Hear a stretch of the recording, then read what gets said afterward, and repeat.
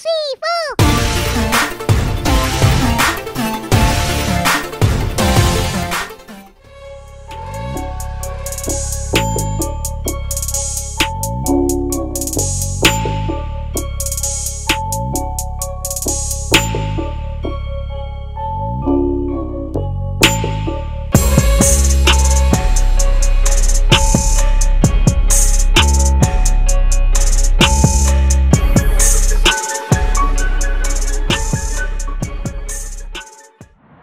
1992, 16 years old. Got me a car, started low riding. Had my brother hook me up with a, some cut coil springs on an Oldsmobile Cutlass. Had two 12s in the trunk. I was the dig at school. I, I wanted to find my my spot. See, I grew up not really being the most popular kid in the world. I mean, I played baseball, I played rec basketball. I had friends, like I, I had friends that I still have today. So it wasn't that I was the unpopular kid, I just wasn't the popular kid. And in high school, you kind of feel like that's where you're supposed to be, that's where you want to be. But what that does is that that makes you conform. You're conforming to something that you're not. And I did that for a lot of years of my life. So, being a kid that was 300 pounds, six foot tall in the eighth grade, always getting picked on, most people thought it was just innocent. But it hurts deeper than that when you're on the other side of that. You don't understand that when you're doing it to somebody. You do understand it when you're receiving that. So at 16, after I got the cool car and got some friends that were a little older than me, I decided I'd just quit school November 1992. That landed me here in the Vernon White building. My mom was destroyed at my decision to quit school. Talked and talked and talked to me to not do it. What I agreed to do though is that I'd agree that I would quit school and I'd come straight to Pitt and I'd get my GED and I'd go to college and and and mom, I'd have it. I'd have my GED done before my friends even get out of high school. Like, can we get a head start on life? And it did. It did. I got my GED right here in this in this building at Pitt Community College in 1993. I Started going to class here. After my GED, I I got into computer programming. I was working a full-time job. My parents couldn't afford to pay for my schooling um, and and not have me work. So full time job, full time hours at class. I, I did it for a couple of semesters, and then I was done. But that whole time I was conforming. I was conforming to what I thought the world wanted to see from me. And that was the mistake, and the mistake that a lot of young people make. That's the message I want to get across. Is don't conform. God made you in His vision, in His perfect sight. He knows who He wants you to be. But you got to lean into Him. You can't lean into TikTok and YouTube or your, your local news channel, or you can't lean into your friends. You can't lean into your car club. You can't lean into those people around you to ask for advice on who you're supposed to be.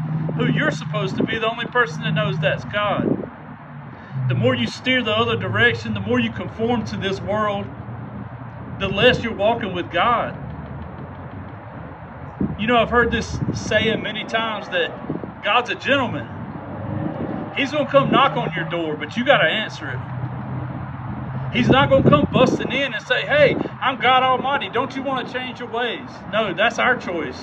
God gives us choice. And in uh, Romans 12, Paul says, Don't copy the behavior and customs of this world, but let God transform you into a new person by changing the way you think. Then you will learn to know God's will for you, which is good and pleasing and perfect. The way you think. Our mind, a lot of times, is our biggest captivity in our life. Our brain allows us to think that we're not who we're supposed to be, or we're not good enough, or we're not at the place we're supposed to be at. Look, all this is is a plan. This is a plan, and the closer you get to the Creator, the one that created the plan, the more you'll understand the plan. The more you'll lean into the plan, the more God will show you the plan. The more you'll be able to see the signs around you that God's pointing you in the right direction. But you've got to listen.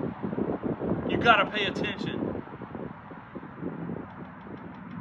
You can't think that you're going to just wake up one day and say, Oh God, please take me out of this misery.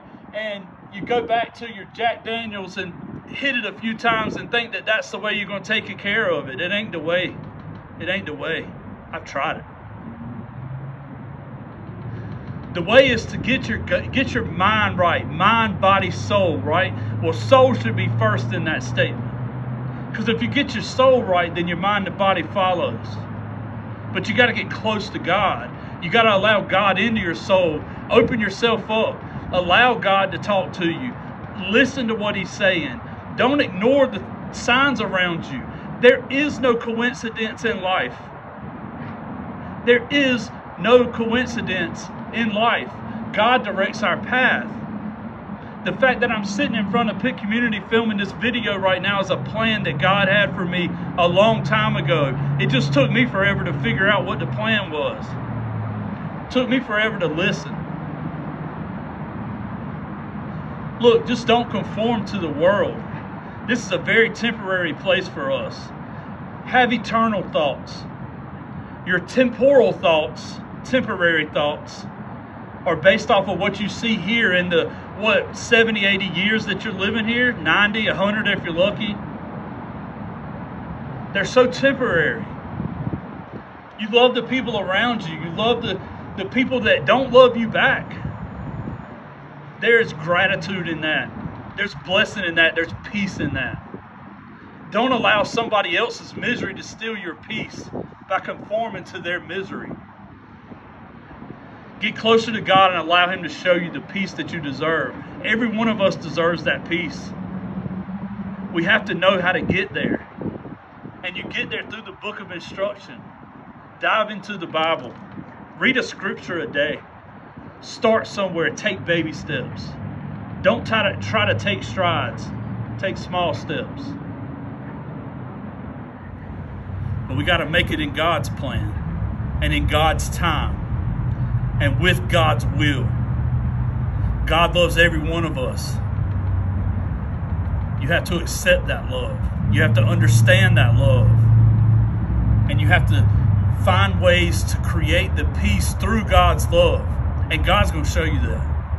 I promise you, God's going to show you that. Just trust and believe. Have faith.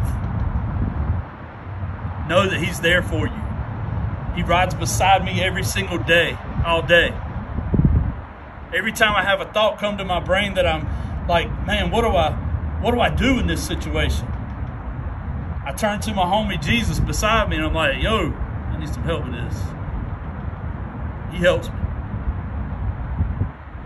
What's ironic is a lot of times when I'm asking him for help, the thought that I had that I thought was so important and so pressing in my life, a lot of times the thought disappears because it's not. It's not important. It's not pressing. It's not your worry. We worry so much about things that we shouldn't worry about. It ain't our worry. If you're walking around without God right now, I guarantee you're heavy. All I'm trying to do is lighten the load. Why walk around with all the burdens of this world on you when God, over 2,000 years ago, sent His Son here to take that from us? Why would you walk around every day heavy, worrying about what's going to happen next week? Where your kid's going to end up? What worries do you have today? What worries can God take from you today? There's no reason for anybody in this world to go around heavy. Lighten the load.